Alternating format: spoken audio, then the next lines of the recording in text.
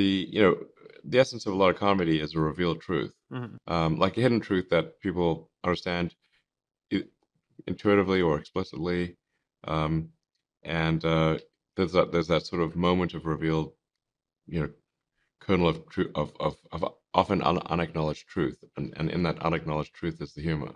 If you're, you know, premised on a lie, you, you can, can no longer be funny because there's no revealed truth. You know, a lot of people on the left have no sense of humor. They they're not funny.